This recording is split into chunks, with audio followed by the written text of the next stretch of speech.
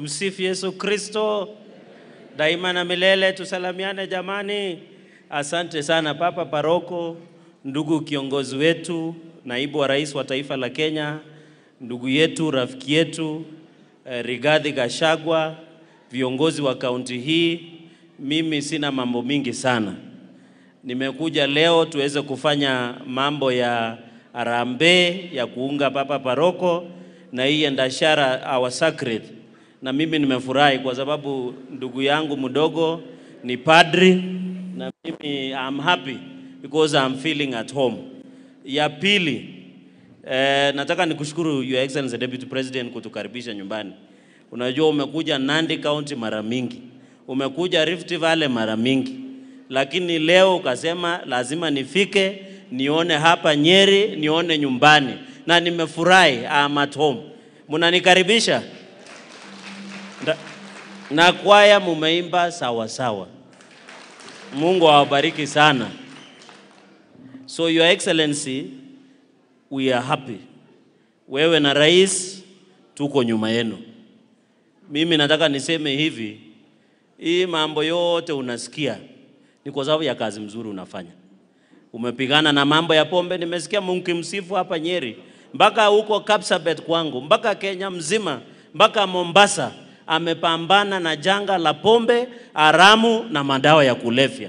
Na nataka nikushukuru naibu wa rais, kwa sababu wakati rais alikupea hiyo jukumu, pia ukatuita. Nimesikia ndugu yangu mambo ya kahawa, naona mnamsifia hapa Mount Kenya na Nyeri, sisi kule Rift Valley tunamsifia kwa sababu alituita mkutano hapa Meru ya mambo ya kahawa, tukaketi, tunaona reforms, hata coffee bill na sheria zinaendelea kushughulika, hata mambo ya majani chai, kwa sababu penye natoka huko Kericho, Nandi na Rift Valley, akatuita Kericho, akatuketisha. Sasa mambo ya reforms kwa sekta ya majani chai inaendelea sawa sawa.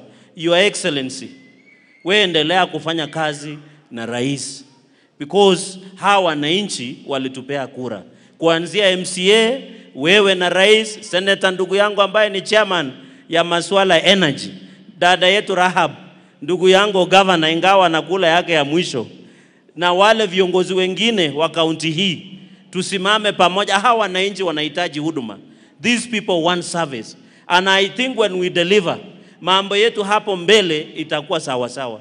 Your Excellency, kuna msemo wa Kiafrika, saa ile unaenda safari na unawinda gazelle. Ukiona squirrel usiwache gazelle ukuje kufuatana na squirrels. Naona vitu vingine hapo, sijui Limuru kulikuwa na wale unaita funny couple wanaketi wa, wa, hawa wanafanya mambo. Wewe ni deputy president ya Kenya, nataka niwaambie viongozi ya hapa, huyu si mzee ametaa, huyu si kiongozi ya Mount Kenya, huyu ni kiongozi wa taifa letu la Kenya. This a, this a national leader akisaidiana na rais. Mimi nataka niwaambie huko penye natoka mambo iko sawa sawa, mambo iko ngangari. Sisi tuko nyuma ya rais na huyu ndugu yetu Rigathi kashagwa Si ni namna hiyo watu wetu wa Nyeri? Na unajua, unajua kuna marafiki wengi wameingia, ni sawa, lakini kuna aditi moja inasema ama msemo, fisi alikuwa anafuata binadamu akifikiri mkono itaanguka. Haiwezi anguka. Mnasikia chenye nimesema? Mmesikia? Si nimesema mbele ya kanisa, mbele ya mafadha, si kuna kwanga na confession. Mimi nataka niwahakikishie hao watafuata mkono kama fisi, lakini haitaanguka. Serikali iko imara, tukiongozwa na president na deputy president, na ako kazi. Unajua hata sisi vijana ambao tumeoa juzi huwa tunapewa paternity leave na annual leave.